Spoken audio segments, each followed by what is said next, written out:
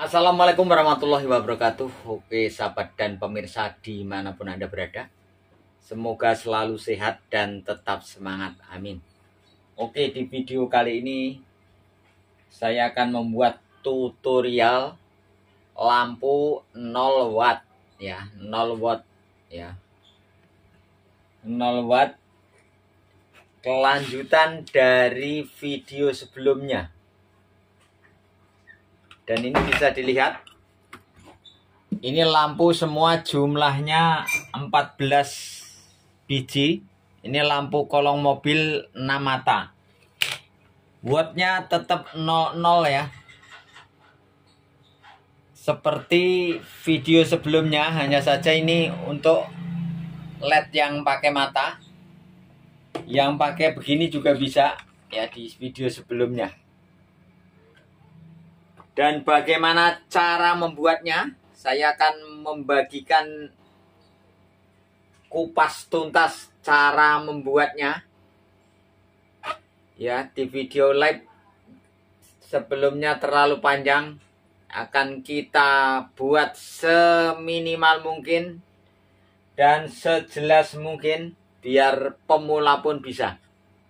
Langsung saja kita ke videonya. Ingat, like dan subscribe itu gratis. Selamat menonton. Ini lampu sudah mati ya. Ini kita singkirkan dulu yang ini. Ini kita bikin dari nol. Kita singkirkan dulu ini yang sudah hidup. Ini akan kita coba dulu. Apakah hidup? Bentar. Kita colok dulu.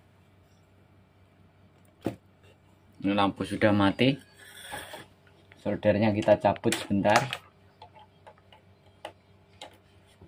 Ya mati ya. Tidak hidup lampunya. Oke kita cabut lagi. Kita cabut lagi kita colok solder nanti untuk nyolder. Oke. Senjata utama adalah solder sekarang fokus ke yang mati ini.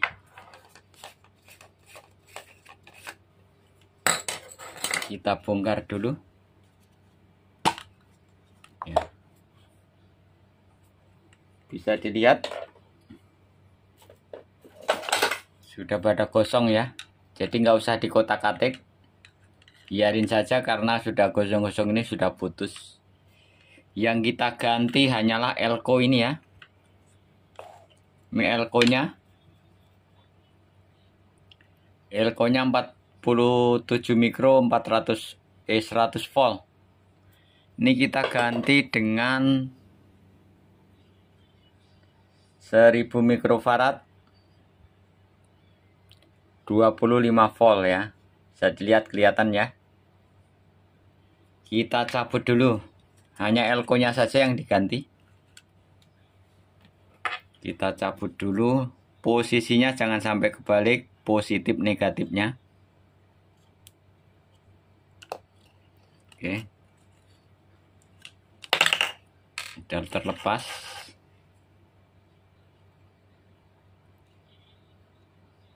Bisa pakai sedotan timah kalau punya. Nah, cabut saja. Dan ini ada tandanya. Positif dan ini negatif. Di sini juga ada nih yang ada item-itemnya ini yang negatif ya. Kalau pemula pasti harus dikasih tahu. Hmm, nah ini yang ini positif yang ada tandanya ini negatif ya. Jangan sampai kebalik. Kalau kebalik dipastikan door karena ini ilmu pasti. Oke terus kita solder kita solder dulu. Mana timahnya?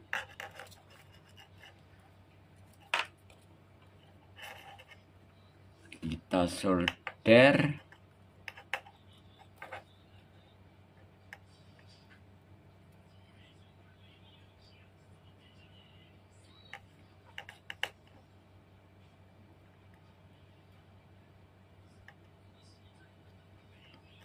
Oke, sudah.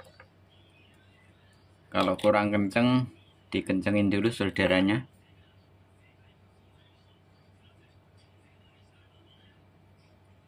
oke mantap.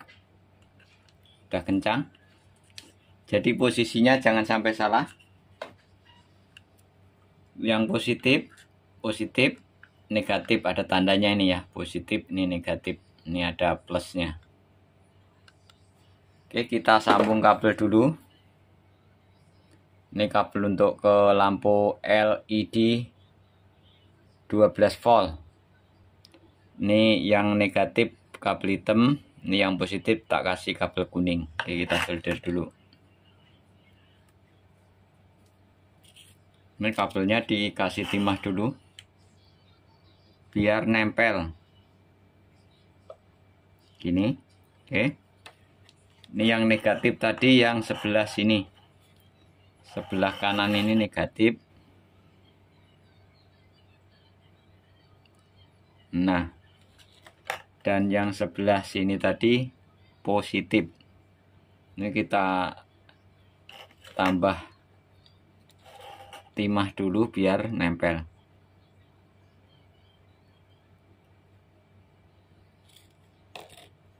Begini saja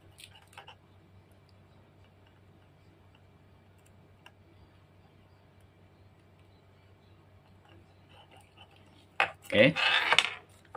Kita masukkan.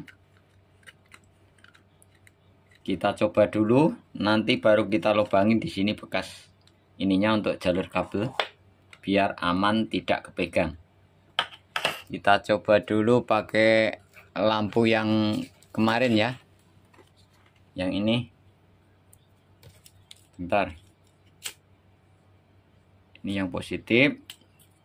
12 volt ya dan yang ini negatif. Pakai lampu yang polos dulu. Tali led. Ini belum disolasi ya hanya untuk mencoba. Apakah hidup? Harus hati-hati jangan sampai kepegang karena ada strumnya. Kita pasang dulu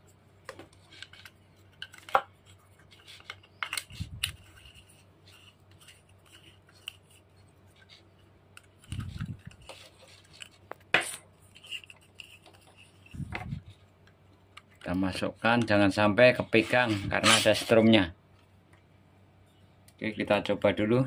Bismillahirrahmanirrahim. Apakah hidup? Oke mantap. Hidup? Ya lumayan terang ya. Sekarang akan kita tes tegangannya berapa ya biar anda paham. Soalnya kebanyakan orang Konoha itu kan kebanyakan protes daripada berpikir. Oke. Kita coba dulu. Sebentar.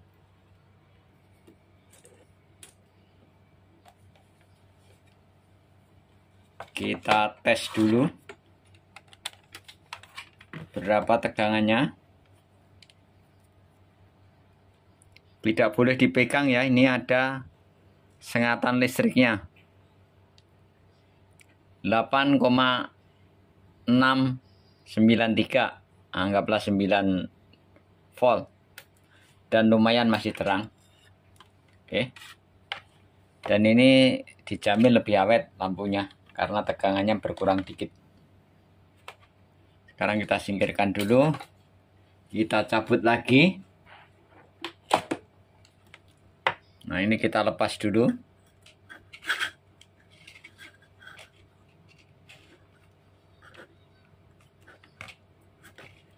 Kita singkirkan dulu. Kita pakai solder. Solder untuk melubangi ini ya.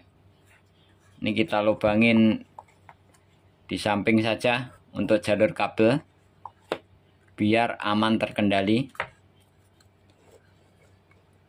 ya ini kita sonyok dulu pakai solder untuk jalur kabel Oke. Kita sonyok pakai solder di sini saja untuk jalur kabel ya. Untuk jalur kabel tadi keluar. Oke. Nih. Supaya aman tidak kepegang ya karena ini masih ada sengatan listrik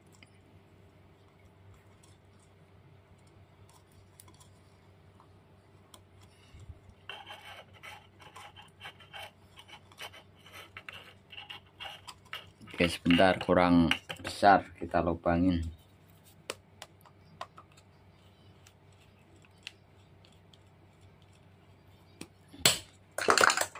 Oke. Kita masukkan saja kabelnya dari dalam. Kita keluarkan sudah aman. Terus kita tutup. Nah, ini sekarang akan kita coba pakai lampu yang banyak tadi. Kita cabut soldernya dulu biar nggak ganggu. Oke. Nah ini lampu yang tadi kita sudah kita coba. Ini yang kemarin kita tutorialkan di sebelumnya. Dan ini lampu ini kalau beli bergandengan begini ya. Misalnya beli 10 biji bergandengan 10 kalau 20 biji ya 20 biji gandengannya ya. Ini 14 biji. Ada yang saya sambung. Oke kita lepas saja di sini. Ntar.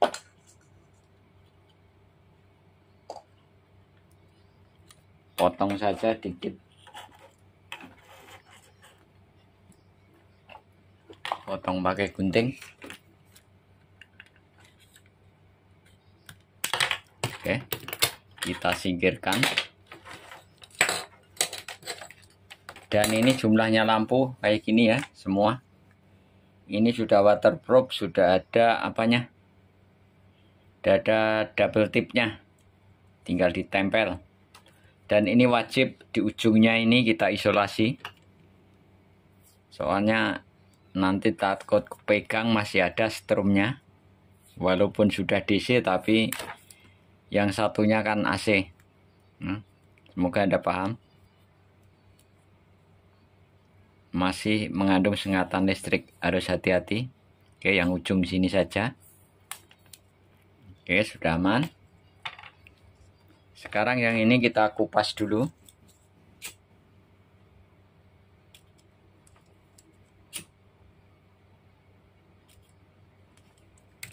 Ini dari lampu tadi kita untir jadi yang positif ini yang ada merahnya ini positif ya.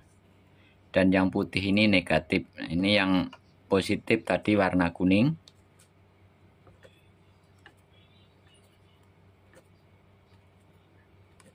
Negatif warna putih.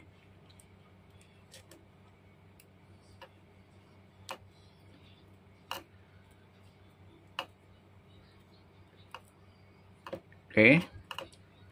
Gini. Ini kita isolasi dulu. Keamanan safety harus paling utama. Soalnya nanti kalau kesetrum rambut bisa keriting. Harus hati-hati. Kalau Anda ceroboh, kesetrum, atau tersengat listrik, ditanggung sendiri karena Anda kurang hati-hati atau ceroboh.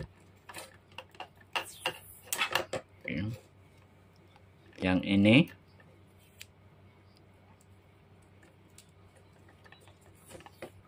agak lama dikit nggak masalah, yang penting kupas tuntas yang pemula pun bisa melakukannya. Yang jelas senjata utamanya adalah solder sama timah.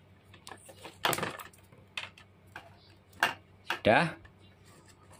Dan elko tadi yang 1000 mikrofarad 25 volt bisa nyabut bekas-bekas elektronik. Atau kalau beli hanya 1000 rupiah. Paling mahal 2000 rupiah. Di toko spare part elektronik. Kalau di warteg dipastikan nggak ada. Oke. sekarang kita akan coba dan kita buktikan Bismillahirrahmanirrahim. Ini sudah aman ya? Semua sudah diisolasi. Apakah oke? Okay? nah mantap jaya. Nih. Nah kalau menghadap sini silau. Nah tuh. Semuanya 14 biji. Dan wattnya berapa? Bisa dilihat Wordnya 00 tidak makan strum ya. Ini ide kreatif yang sangat lumayan bagus. Kalau anda mau pakai ya silahkan nggak mau pakai ya silahkan. Kami sudah uji coba dan awet. Setahun yang lalu saya sudah coba tapi tak nggak tak ukur wattnya berapa. Itu awet ya untuk lampu-lampu LED 12 volt dari bekas lampu rusak. Hanya ganti elko tadi ya. Oke. Tuh. Silo men. Kalau begini lumayan terang ya. Nih. Jadi kalau pakai satu atau pakai banyak tetap masih 0 watt Kenapa bisa 0 watt? Karena ampernya di sini kecil, 0,003 ampere alias 300 miliampere. Jadi nggak nyampe makan setrum karena tidak ada trafonya dari kapasitor tadi. Jadi kapasitor tadi yang aslinya itu sebagai air resistensi aktif saat dialiri arus listrik dan ini bisa dilihat lumayan terang. Oke. Ini semua 14 biji. 6 mata ya. Kalau mau pakai satu pun bisa. Tetap buatnya 00 pakai 14 biji tetap 00 karena ini adalah sebuah penemuan. Penemuan dari kita ngoprek. Dan saya jamin awet asal masang elkonya nggak kebalik. Kalau elkonya tadi kebalik dipastikan dalam beberapa menit meleduk. Nah, sesuai tutorial. Oke. Dan anda kurang yakin lagi kita ganti lampu. Ini apakah? Kita ganti lampu. Lampu yang ini yang terang. Wattnya apakah langsung naik? Nah, ini lampu terang kita lihat wattnya langsung naik ke 13,4 watt. Ya kali 24 jam. Oke itu tadi suara tester otomatis mati sendiri. Oke. Dan lampu yang kecil pun kita coba. Ini kita tidak ada bohong-bohongan kita berbagi apa adanya. Nih kita lihat langsung naik wattnya kita tunggu Oke, jalan 3,4 watt ya. Atau 4 watt ya tulisannya 10 watt. Biasanya kalau lampu murahan itu kan tidak sesuai. Dan kita coba lagi biar nggak penasaran apakah benar-benar wattnya bisa keluar atau tidak kita coba kita coba sebentar berkegiatan bisa dilihat 0, 0 tidak ngangkat watt nah sebentar testernya tak matiin dulu. Jadi begitu kesimpulannya? Kalau mau pakai lampu yang polos yang putih ini mau pakai 1 2 3 4 5 6 sampai 10 masih kuat. Ya. Soalnya pakai ini aja kuat. Oke tergantung selera Anda. Ya mau pakai satu boleh, pakai dua boleh, tiga boleh, sampai sepuluh pun boleh. Ini aja 14. Satunya 6 mata kuat. Oke, dan 0 watt. Ini fix real apa adanya, tidak ada dusta di antara kita. Kalau Anda kurang yakin dan tidak percaya, silakan membuktikannya sendiri, mencoba sendiri sesuai tutorial. Ini asap dari asap rokok ya, maaf.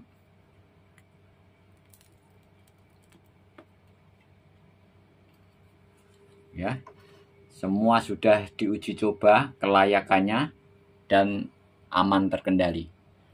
Terima kasih. Semoga bermanfaat dan silahkan mencoba membuktikannya sesuai tutorial video ya jadi jangan sampai kebalik masang elko nya tadi hanya ganti elko saja. Sudah cukup. Yang penting tidak kebalik positif negatif. Itu di situ ada tandanya. Kalau kebalik dipastikan nanti elko nya meleduk. Itu karena ilmu elektronik atau kelistrikan itu pasti. Pasti benar dan pasti meleduk kalau ada kelalaian atau kecerobohan. Mohon maaf apabila masih ada kekurangan. Semoga bermanfaat dan ini apa adanya. Saya bikin tutorial berbagi ilmu, mudah-mudahan bisa bermanfaat bagi kita semua ya. Kalau menurut Anda tidak bermanfaat ya skip saja, abaikan saja. Kami berbagi hanya yang mau-mau saja. Kalau nggak mau kami tidak akan memaksa. Kita berbagi yang sudah kami tutorialkan sesuai dan layak untuk dipakai. Cukup sekian. Wassalamualaikum warahmatullahi wabarakatuh. Tunggu video saya selanjutnya.